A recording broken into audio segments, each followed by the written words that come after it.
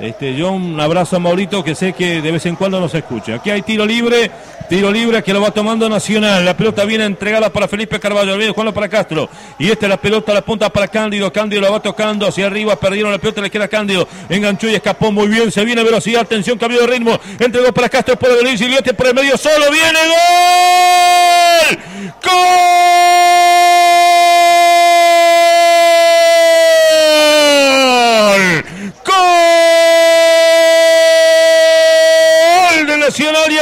Y el gol llegó a los 45 minutos y tuvo que venir un jugador que rompe líneas como el lateral izquierdo Camilo Cándido. Arrancó Cándido, se fue, rompió líneas, se enganchó por la mitad de la cancha, dio un pase notable. La pelota para Castro y el colombiano lo ve Gigliotti. Le metió la pelota al argentino y apareció para rematar después de una gran jugada de Cándido Gigliotti y termina decretando la apertura del score. Está ganando. Ay, no sé si no era offside en el arranque de la jugada. ¿eh? Gana Nacional por un tanto a cero. El gol del argentino Gigliotti. No, para mí hay que ver. Para mí Gi- Gigliotti también puede adelantar eh, cuando toca la pelota. Pero no sé. Eh, él no participa en esa jugada, pero saca ventaja porque él termina la, la- la situación de gol. O sea, él termina incidiendo en el resultado en, en- en la jugada. Si bien el pase no viene para él, él termina decidiendo y sacando ventaja de esa situación. Bueno, lo deberíamos llamar a Mauro. Para mí hay offside, ¿eh? Yo creo que lo van a anular. Sí, si lo llama el bar, por algo será, ¿no? Hay chequeo del bar. Chequeo del bar. Cuando define Gigliotti no está adelantado porque está detrás de la línea de la pelota. El tema es cuando parte el pase. Usted me dirá, bueno, no venía para él. No, pero él saca ventaja porque es el que termina definiendo. Sí, eso, eh, por eso digo. A ver qué pasa. 129. Bueno, creo que va entrado Tormina al campo de juego nacional. Va sacando violentamente a Matías Soto. Violento pelotazo frontal. La buscaba entrando por los sectores izquierdos el jugador, el futbolista Gómez. Franco Gómez la buscaba, la puede dominar. La va controlando por mitad de campo. La juega entregando la pelota allí. El jugador Luis Rodríguez la juega más al medio. Dio la pelota para Gómez. La cambió la punta izquierda. Gran quite. La ganar la pelota Lozano. Arranca Lozano con la pelota. La pide al vacío. Fagunde viene para él. Corre Ramírez por el otro lado. Gol de Ramírez. Ahí viene para Ramírez. Está. Viene gol. ¡Gol! ¡Gol! Nacional Ramírez entró por el medio Ramírez solo en un contragolpe que arrancó por la derecha Lozano. Una gran habilitación vino para Fagunde. Fagunde que no fue egoísta. No tuvo el egoísta del número 9. No tuvo el egoísmo del número 9.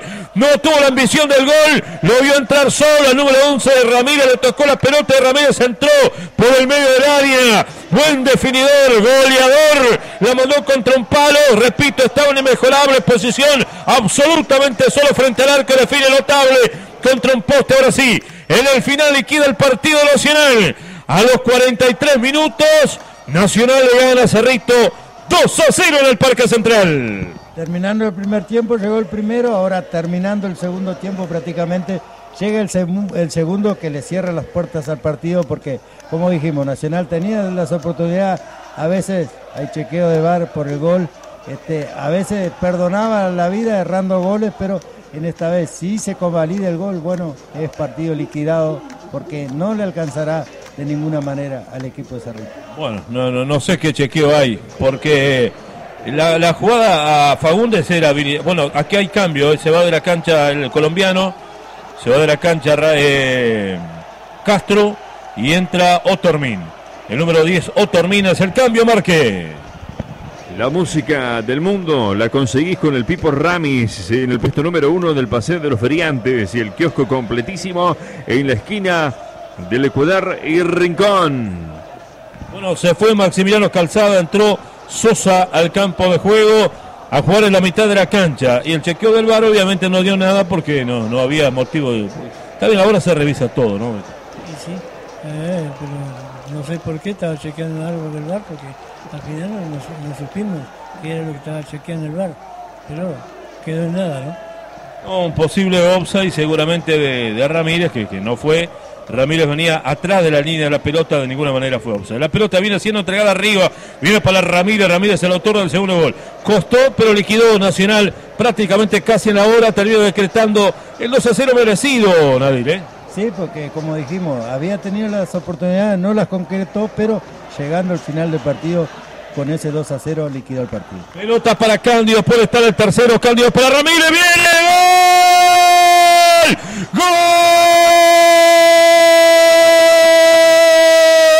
Nacional Ramírez, Ramírez de nuevo entró, bueno, se despertó el delantero, se despertó el goleador, que no había aparecido Nacional, que le faltaban los goles, que estaba en sequía, que no tenía chance de jugar muchos minutos y entró sobre el final para liquidar el partido. Esta es una jugada por izquierda. Juan Ignacio Ramírez define por el medio. Una pelota enviada por Cándido magistralmente el primer palo, lo buscó el goleador que se despierta en el Parque Central, anota doblete, un gol realmente notable, tocando una pelota de Rabona y termina decretando Ramírez el segundo personal y el tercero de Nacional a los 45 minutos del segundo tiempo.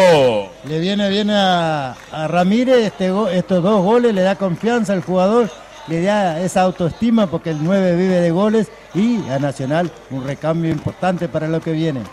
Se baja definitivamente el telón que ya se había bajado con el segundo gol. Sí, el tercer gol define todo. El segundo ya lo había definido porque eh, ya falta pocos minutos y el tercero prácticamente.